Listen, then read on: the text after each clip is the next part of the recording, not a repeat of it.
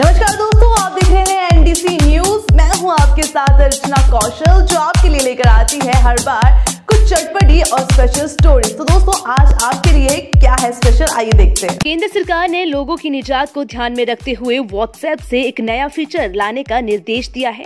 Media report के मुताबिक इस ताज़ा निर्देश में कहा गया है कि व्हाट्सएप यूज़र को किसी भी ग्रुप में ऐड करने से पहले उनकी इजाज़त लेनी ज़रूरी होनी चाहिए।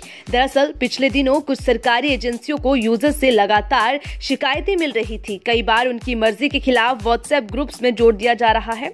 एक वरिष्ठ सरकारी अधिकारी ने बताया कि इलेक्ट्रॉनिक्स और आईटी मंत्रालय ने इस बारे में कई एजेंसियों से राय ली, जिसके बाद इस मामले पर मैसेजिंग प्लेटफॉर्म व्हाट्सएप से बात करने का फैसला लिया गया। अधिकारी ने बताया कि व्हाट्सएप ने अपनी पॉलिसी का हवाला देते हुए बताया कि ग्रुप एडमिन की फ़ोन बुक में उस यूज़र का नाम सेव होना चाहिए और अगर यूज़र दो बार ग्रुप से बाहर एग्जिट करता है तो उसे तीसरी बार जोड़ा नहीं जा सकता। हालाँकि, कई बार ऐसा देखा गया कि यूज़र के दो बार ग्रुप छोड़ने के बाद भी कोई दूसरा एडमिन उसे वापस उस ग्रुप में जोड़ लेता है। इतना ही नहीं, यूज़र दूसरे एडमिन को उसे वापस ग्रुप में जोड़ने के साथ ही नंबर से बनाए गए नए ग्रुप में ऐड करने का प्रयास भी किया जाता है। ऐसे अभ्यासों के लिए मेठी ने व्हाट्सएप की भले ही सराहना की है, हालाँकि साथ ही लिखा है कि सिर्फ़ ये उपाय पर्याप्त नहीं है, इसलिए मंत्रालय ने फिर से व्हाट्सएप को ऐसी सुविधा पेश करने के लिए कहा, जहाँ किसी भी ग्रुप में यूज़र को जोड़ने से पहले उसकी सहमति ज़रूरी हो। फ़िलहाल इस बात पर व्हाट्सएप के जवाब का इंतज़ार किया जा रहा है।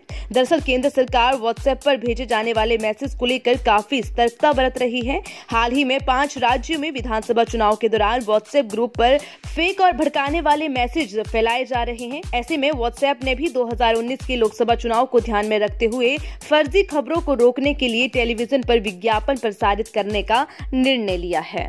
दोस्तों, अगर आपको हमारी स्टोरी पसंद आई तो हमारी स्टोरी को लाइक शेयर कमेंट करना ना भूलें और हमारे चैनल को करिए सब्सक्राइब